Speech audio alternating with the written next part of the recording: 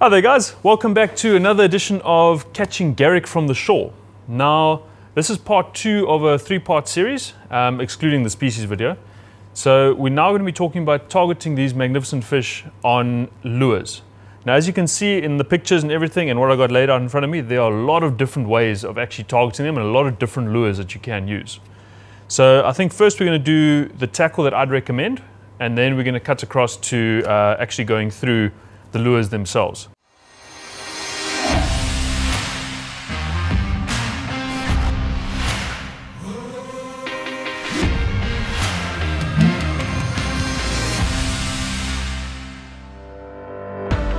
The one thing with any lure fishing, the longer your lure is in the water, the more chance you are of catching a fish. That just, it's, that makes sense. So now, as opposed to the sliding where we weren't casting as far as we could, this, you need a setup that's gonna be able to put, a, put your lures at least a good fair distance, um, and it allows it, gives it more time in the water. So for that, there's nothing that can really beat the Saltist Power Spin. It is a machine of a rod. There's a 12 foot 6 and an 11 foot 6. Uh, for this, for methods that I'm going to mention now, you can use both, but the 11.6 is a little bit more usable in terms of when you're actually doing things like the bucktails and the paddle tails, where you're actually going to be flicking them with your wrist.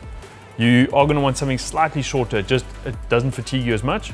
If you want ultimate, ultimate distance and just an absolute brute of a stick, the 12 foot 6 will then be your option.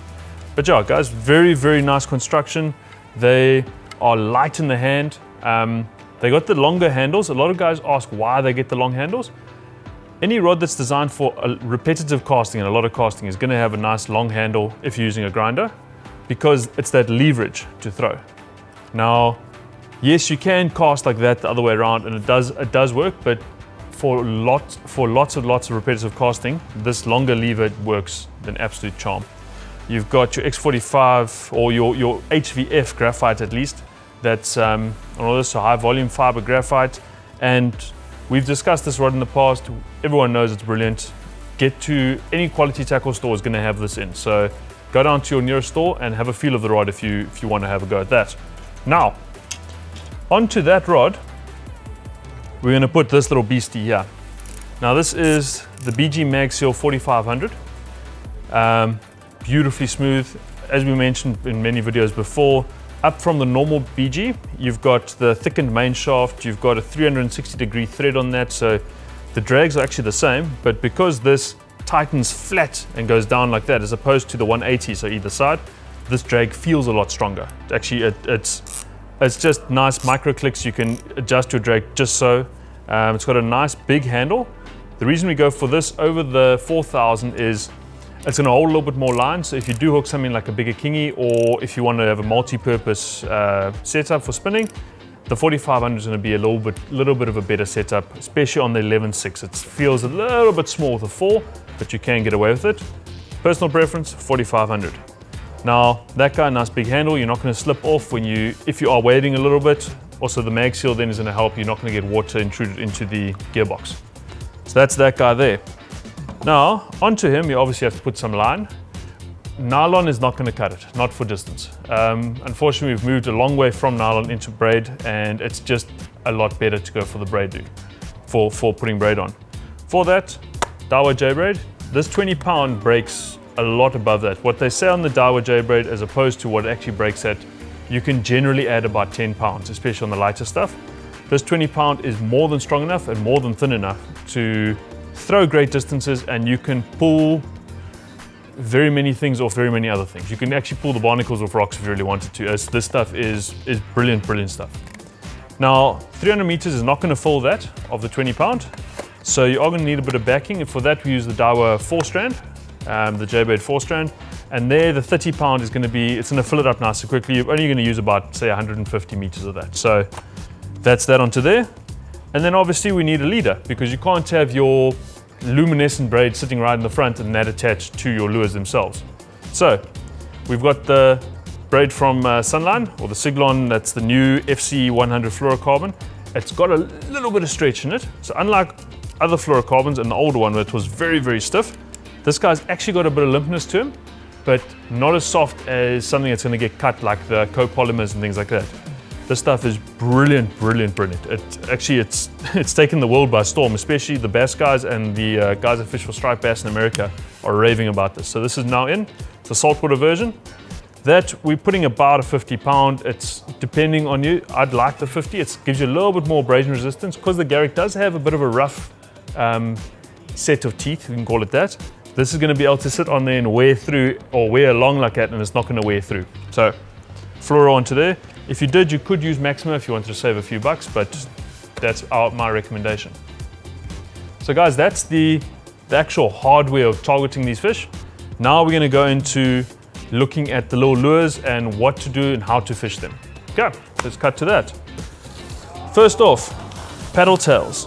Now, paddle tails, jerk minnows, soft plastics in general. You're gonna be using your stock standard jig heads. Now, these guys are the Paddle Pro ones from the Kingfisher range. They are brilliant hooks on there, nice and sharp, strong as all hell. Uh, the weight is going to depend on where you're fishing and what you're throwing, and the hook size depends on the size of the actual minnow you're using. So we've got the Mimic paddle tails, beautifully soft. I mean, they, they're actually so much fun to play with. Um, they are designed with that slot in the bottom, but they're not all the way through like a normal bass fluke. So if you are going to rig them weedless with a bass hook, like your um, big mouth from, from Mustad, you can do that. Otherwise, on a paddle tail, you still have enough meat there that it's not gonna, the hook's not gonna wander around and then just tear through. The nice thing about him, the softer paddle tail and the, or the nice big paddle and the softer action means when you can rip him through the water, he gives a very nice vibration, but it's not, you, you don't lose momentum when you when you're giving him a bit of a jerky action. That you can actually you can actually kick. If that makes sense. It's, they come in a lot of lovely colors. That is my personal preference. That little greeny color on the bottom with the see-through, it's just so natural. The nice thing about these, you can fish them for cob and for Garrick. So the guys going down to Port St. John's, they're very different methods of fishing paddle tails to Garrick um, as opposed to Cob, which we'll cover in a second. Um, but then we've also got, if you want to go ultra realistic, we've got the Prorex. It's a slightly harder rubber, um, so it holds its shape very nicely, and a slightly smaller tail. It's actually called a duck, duck foot tail. He gives out a different vibration. So if you're looking for something that's different to what everyone else is throwing, the Prorex is the way to go. Also, a lot of different colors. That's the six inch version. Uh, does go down all the way to, I believe, a little three inch, but you're not going to use that. The six inch is the one you want to go for. And in this, we do a 4.9 and a 5.9 inch, obviously in all the colors. So the 4.9 is the one I'm probably going to be throwing because it's slightly more compact. You can get it a further distance. So if you need to throw far, go for the smaller one. If you need to throw close, you go for the bigger one. So in terms of actually fishing these paddle tails, you're either going to tie a loop knot or you're going to use a clip onto the actual paddle tail because you want that movement onto the jig head. But you don't, for a cob, you throw, you let it go right to the bottom, and then you're gonna wind it very, very slowly. You wanna kick it just along the bottom. The cob is lazy. He wants it to come past his nose, then he's gonna grab it. For the Garrick, you need to do the same action with your bucktails as you're gonna do for these. You're gonna cast it, let it sink to the bottom, whoop, wind up, whoop, wind up, whoop, wind up. That's how you fish it. That is the most effective way of fishing it. Look, there are no rules. You can, you'll catch them just winding it slowly on the bottom. You'll catch it probably throwing and winding it along the surface. But that's what I've found is the most effective way of catching them. So obviously with that, we're also talking about the bucktails, which is those guys there, which is basically a painted lead head with bucktail out the back.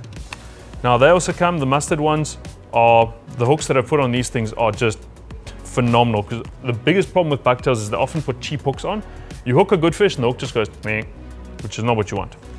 These guys aren't going to do that. Nice big eyes. They got two tie-in points, so you can actually fish them differently. But the top one is the one that you get the most seesawing action. The front one, if you want to fish it quickly with a tip down for more species like kingfish and things like that. Color, not that important. Black gives you a beautiful silhouette in low light, and your brighter colors work better in the day. But it's really more of the action than it is the color. That makes sense.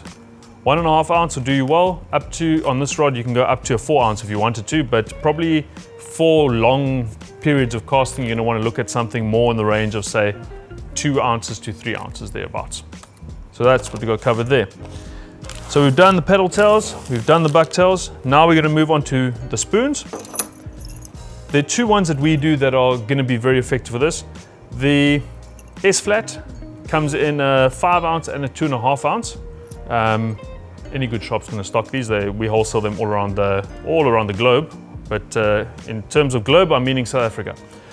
Now, the five ounce is going to be for the guy that's going to want to throw it on his setup that he's using to throw baits. So this will throw on this rod, but you're going to tire yourself out quite quickly throwing a five ounce all the time. The one I prefer is this little guy here. Now it's the S Chrome Large. It's got a nice big, big profile, but it's a very thin spoon. So it's not a lot of weight and it flies through the air very nicely. E all these guys are designed, they flutter as they go. So it's not a fast winding spoon. This guy, you're gonna cast, count it five, for example, and then just wind it and you'll feel it. It actually vibrates like that on the rod. Then you're gonna cast, count to 10 and wind like that. So now you're gonna be fishing all the different levels as you go. But that's guys, those are the two, you're looking at both nice big size spoons. They're presenting a large profile because the Garrick are after either mullet or shad or things like that. It's not, they're not after little fish like this. You're looking at bigger, bigger profiles. Then we're gonna go on to surface plugs. Now, there are a lot of traditional plugs like this pencil popper from Strike Pro that will work, but what we generally use are chisel nose and needle nose plugs.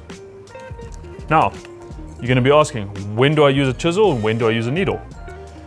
For that answer, you've got to first subscribe down below and like this, like this video and then I'll tell you. So I'll wait for you. Okay, now that you've done that, we're gonna use a needle nose mainly in calmer conditions or if we need to throw further. Because it's got a smaller profile at the back, if you look at those two, it's got a smaller profile, it travels through the air a lot quicker and it's a lot more aerodynamic when you're actually throwing it. So that's when you're gonna use a needle nose for distance and for calm water because in the calm, this guy snakes along, he makes enough disturbance, but he doesn't overwhelm the fish, if that makes sense. So that's, that guy works very, very well for that. Color, once again, not the most important thing you need to focus on. Getting it into the right spot and fishing it correctly. This guy is a surface lure. I've seen a lot of guys casting these, letting them sink and winding them along the bottom. That's, this is designed to go on the surface. So Cast that, as it hits the water, start winding quickly, get it onto the surface, and then wind as slowly as you can to still keep it on the surface, snaking along. The opposition to that, chisel nose, doesn't throw as well. Obviously, if you get a heavier, heavier one, it is going to throw better, as long as it's balanced to your setup. But he sits along the surface and he smacks the surface a little bit better than the chisel nose, I mean than the needle nose. So he makes a lot more noise. So this is going to be when you've got a lot more churning water, when you've got white water in there and waves rolling, that's when this guy comes into his own. He's gonna sit, he snakes along still, but as soon as he gets bumped, he smacks the surface. So it makes a lot of noise and gets the traction coming in. So those are those two guys. Look, there are a lot of colors. There are a lot of guys that will claim you only catch on pink, you only catch on yellow, you only catch on the color of Squidward's tentacle. There are a lot of different things behind there, but white is an all-out favorite. Um, and then any sort of variation on that. So if it's white, a little bit of pink, white, a little bit of red, I mean, to that extent. So those are the surface lures that we've covered. Last but not least, we're going to be talking about the clips. Now, there are a whole lot of different clips that are done. You get these stainless steel guys that are sort of bent round. You'll be able to see in the picture a little bit better. Personal preference, I like to tie on to a, to a lure, and I think I've mentioned this many times. But if I was to use a clip, which I do every now and again, Mustad Fast Attach. You cannot beat this clip. For ease of use, for the amount of freedom it gives the lure with that very, very round big eye in the front, it just clips on, clips off. It's, honestly, I mean, pop it onto there, just like that. You, you, you don't get easier than that. Yeah, so you just twist it, twist it on like that, in. Easy. So guys, onto that beautiful fast attach that we use there for simplicity, we're gonna use a swivel. Now, use the best swivel you can. There are too many guys that use cheap swivels that twist up the line and all sorts that just don't function. Power swivel is the way you wanna go. Every good shop stocks these, so make sure you go down and get a packet of these. Get a few different sizes, but it's number four. They are hellishly strong for their size. So he's gonna be what we use. We tie our braid to that, to the power swivel, a section of leader. Now remember, that leader is staying outside your guide, so you don't want to have a leader longer than you're comfortable casting. And then you're going to tie that onto the fast attach that you clip onto your lures. So it makes a very efficient way of, of fishing that once you cut your leader back from changing lures or changing clips or things like that, you don't have to retie an FG or, or uh, PR or anything on the beach. You can just tie the Palomar knot if you need to change the swivel. Otherwise, you're just tying a figure of eight onto that swivel. It is very, very easy, keeps everything nice and simple. And when the fish are running, you don't have to constantly now worry about, oh, I can't remember how Mike did that FG or how I need to twist this or hold it with that finger or that thumb. It is easy, easy, easy. So, guys, that is Garrick fishing in a nutshell. It's a lot to take in. Focus on which aspect you want to do and go out and catch a Garrick.